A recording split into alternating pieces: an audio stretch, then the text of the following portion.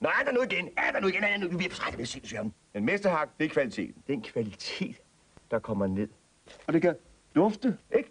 Og vi kan smage, ikke? Jamen, det var da utroligt. Men her har vi varen. Mesterhakket, friskhakket. Åh, oh, det er dejligt hakket. Det hakket, det er sgu kun i sig selv. Den skal være gennemstegt, uden at være tør. Og så skal der være sådan en pyramide af løg på. Oh, der er ikke noget, der er bedre. Så bliver vi glade. Og tænk, at den utrolig mangfoldighed, der er i hakket. Man kan lave sin hashi, man kan lave sine små boller. Så cool, bollerne. Hakket har bare alt i sig. Ved I, hvordan det bliver hakket? Ja. Åh, oh, vi overgår ham ikke mere nu. En mesterhak, det er kvaliteten.